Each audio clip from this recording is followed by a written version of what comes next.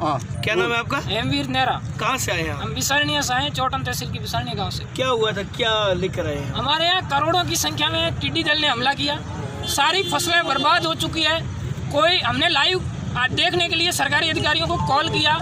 कोई वहाँ पे मौके पे नहीं पहुँचा उस वक्त। उसके बाद भी अभी तक कोई नहीं आया है। सारी फ़सलें चौपट हो चुकी है कुछ नहीं बचा है। दो दिन से अभी भी टिड्डी मौजूद है। वहाँ कोई नहीं आया इसलिए हमने कुछ मरे और कुछ बचे हुए टिड्डी के सबूत भी लाए हैं। हमारे पास वीडियोज़ हैं पहले के और बाद के सफिशियंट है। सरकार सुनवाई नहीं कर रही है। किसान बर्बाद है मरने को स्थिति में है। जीना दूबर हो रखा है। टिड्डी दल आया तब आपने किसी सूचित किया? हाँ हमने पटवारी जी को कॉल किया लोगों ने तहसीलदार। को कॉल कॉल किया टिड्डी दल नियंत्रण रूम में कॉल किया।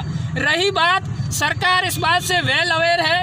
यूएनओ ने पाकिस्तान के साथ मीटिंग करी थी कि टिड्डी कंट्रोल कर रहे हैं। अगर गवर्नमेंट चाहती तो हवाई स्प्रे करा सकती थी उसके बाद संसाधन है केंद्र और राज्य सरकार बीजेपी और कांग्रेस जो दोनों चाहते हैं किसानों की हितेशी हैं वो हमें आज ज़रूरत है आज हमें जो केंद्र देगा या राज्य देगा हम उसी के साथ हैं।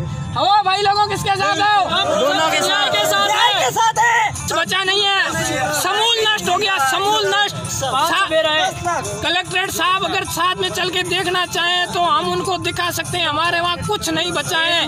बीस लाख अगर आना चाहे तो अभी भी देख सकते हैं वहाँ रेत है।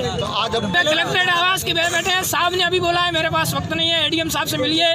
गाँव के लोग सुबह से भूखे प्यासे तंग हो रहे हैं। प्रशासन सुन नहीं रहा है। इस देश में सरकार जब चाहती है तो रात में सुप्रीम कोर्ट तीन बजे खुलता है। इस देश में जब सरकार को अपनी सरकार बनानी हो तो राष्ट्रपति प्रेसिडेंट रूल रात को चार बजे रिवोक कर सकते हैं। लेकिन किसानों के लिए संडे को आने के लिए सरकार और प्रशासन के पास वक्त नहीं है।